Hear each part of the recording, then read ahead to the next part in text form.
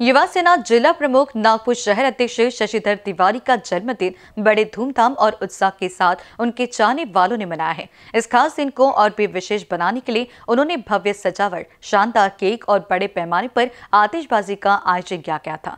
Party में शामिल कार्यकर्ताओं ने भी इस उत्सव को बेहद आनंदमय और यादगार बनाया है। पटाखे फोड़ने की प्रक्रिया ने इस आयोजन को और भी जीवंत और रंगीत बना दिया और इसे लेकर सोशल मीडिया पर भी कई तस्वीरें और वीडियो साझा किए गए हैं।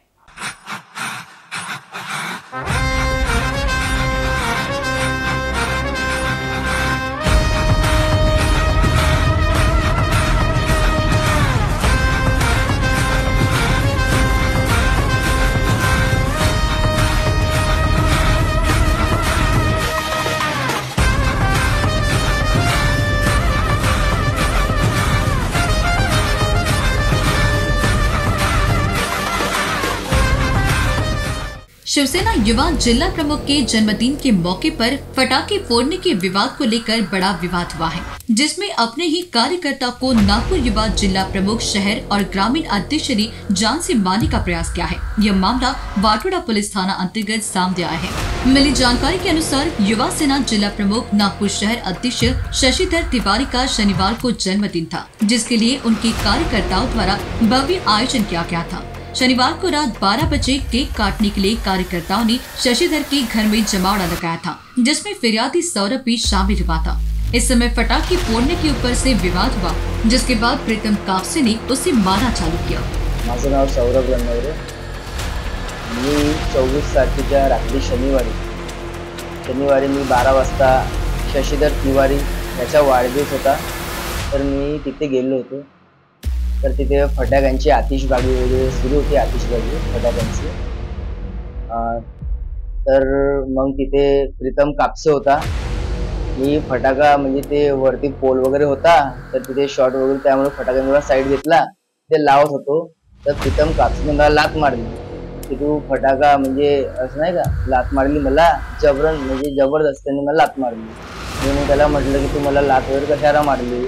तर तो म्हणे पाहूंगी मेरे को पहचानता नाही क्या? मेरे बॅनर नाही देखा का असं असं करतो म्हणजे मला म्हणू लागले व त्यांचा. तिथून लोकांनी त्यांनी मला तिथे मारहाण केली तिथे पण. तिथे मला मारलं. मग तिथे सगळं असं मला वाटलं सॉरी झालं मी माफी मागितली. जाऊ दादा म्हटलं. तुम्ही मोठे लोक मला काही करायचं नाही. मी तर तिथून निघून गेलो. मी तिथून निघालो. तर मी माझा घराकडे येत होतो. बस मी जस्ट माझ्या घराकडे पोचलो तर तिथून तर मी म्हणजे ते गेट वगैरे ओपन करायच्या वेळेस गेट म्हणजे ओपन करू तिथून जर कार आली म्हणजे अशी स्पीडने अशी थांबली. थांबली तिथून त्या कारमधून प्रीतम कापसे आणि शशीधर तिवारी. आणि त्यांचे साथीदार होते खूप सारे. त्यांनी मला पकडलं व तिथेच मारहाण सुरू केली. त्यांनी मा मारहाण सुरू केली असता त्यांनी रॉड काढला आणि तिथेच मला मारायला लागले. आणि मी गाडीत बसत नसतानाही मला जबरदस्ती बसवलं. माझी टी शर्ट वगैरे सगळं काढली आणि मला गाडीमध्ये टाकलं त्यांनी. जन्मदिन का केक काटना इतना भारी पड़ सकता है यह सौरभ को भी पता नहीं था। सौरभ अपने घर की तरफ़ लौट आया कि उसके घर के सामने से प्रीतम कापसे और उसके साथीदारों ने उसे रॉड से मारकर गाड़ी में अगवा कर कोही लेकर गए। गाडीची डिक्की खोलून मला गाडीत टाकलं. तो मला मारत तिथून मला मारत मारत. त्यांनी कुई फाट्यापर्यंत नेलं सर. कुई फाट्यापर्यंत तिथून तिथून तिथून तर सर कुई फाट्यापर्यंत कंटिन्यू मारत नेलं त्यांनी मला. मारत मारत नेलं. मग कुई फाट्याचा अंदर अं, कोणतरी खदान आहे. तिथे नेलं. एक या खदानमध्ये म्हणजे आम्ही या खदानमध्ये आम्ही लोकांना मारतो असे पण ते बोलले. तर त्या खदांकडे नेलं व तिथे मला रॉड काढला आणि चाकू काढला. तिथून शशीधर तिवारी व प्रीतम कापसे यांनी मला रॉडनी तिथे खूप मारहाण केली व त्यांचे खूप साथीदार होते. आठ दहा लोक होते अजून वरचे होते. ते पण मला मारत होते मला काही समजत नव्हतं. माझं पूर्ण ब्लड ब्लड निघत होतं. तर मला काही समजत ते पूर्ण रॉडने डोक्यावर मारत होते हातावर छातीवर पोटावर पाठीवर. रॉडने मारत होते कोणी लाता कोणी भिक्या मारे कोणी कडे मारे. मग प्रीतम कापसी यांनी मला इथे चाकू मारला असा तिथे पूर्ण तिथे चाकू मारतर मी पूर्ण ब्लड ब्लड झालो होतो मी. मग त्यानंतर मला त्यांनी पकडलं. आठ दहा लोकांनी मला आणि तिथे झील होती तिथे फेकासाठी मला नेलं होतं. मला तिथे फेकत होते झीलमध्ये. तर मग फे असे म्हणजे असे झुलत झुलत नाही का? म्हणजे असं पकडून तर फेकू का फेकू का असं करे. पूर्ण सर माझ्या जीवाचा खेळ करून टाकला होता पूर्ण असं फेकत होते. तर मग मी त्यांना माफ़ी मागत होतो की मला सोडून द्या वगैरे. मग तिथनं मला असं सोडलं आणि असं खाली म्हणजे इकडे असं मला इकडे ठेवलं मला बाजूला. जिसके बाद वाठोड़ा पुलिस ने शशिधर तिवारी के घर में कॉल करके उसे वापस लाने को बोला और सौरभ को वापस उसके घर के पास छोड़ दिया गया। मी बेशुद्ध मग प्रीतम कापसे आणि आपल्या गाडीमधून बंदूक काढली आणि मला डोक्यावर ठेवली. आता म्हणजे तू आता तुझे आखरीचे सांग तुला मारून टाकतो. असं बोलला सर तो आणि तो म्हणाला की तू सांग तुझी आखरी इच्छा काय तुला आता मरणं पडन. तू राहू नाही शकत तुला मरणं पडत नाही.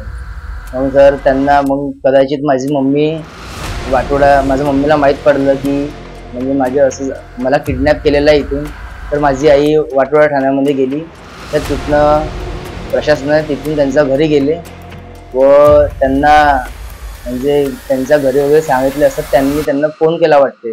तर त्यांनी मला त्या गाडीत टाकून बेशुद्ध अवस्थेत मला आणून ओमकार लावून तशी फेकून दिली आणि सर मग मी तिथून कसा कसा कसा बसा उठून मी सर वाटवा ठाणे म्हणजे वाटवा स्टेशनला गेली पोलीस मी गाठली. मग तिथे गेले असता त्या सरांनी मला इथे नेलं वैद्यकीय मेडिकलला नेलं व तिथून नेता नेता खूप सारे लोक आले होते म्हणजे रिपोर्ट वापस घ्या तुम प्रीतम कापसे को पहचानते नहीं क्या? वो बहुत बड़ा आदमी है। वो छूटने के बाद तुमको मार डालेगा। ऐसे वगैरह सर काही काही लोक म्हणे पण सर।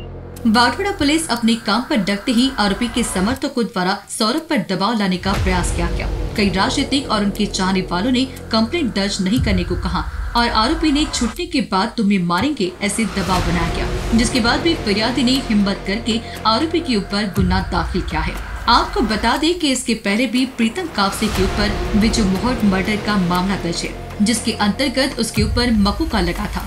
पुलिस ने इस मामले की गंभीरता को देखते हुए कार्रवाई की है और दबाव डालने वाले व्यक्तियों की पहचान की जा रही है। मामले की जाँच की जा रही है और इस संबंध में आरोपियों को हिरासत में लेना जारी है। इनमें न्यूज़ के लिए अखिलेश भारद्वाज की रिपोर्ट।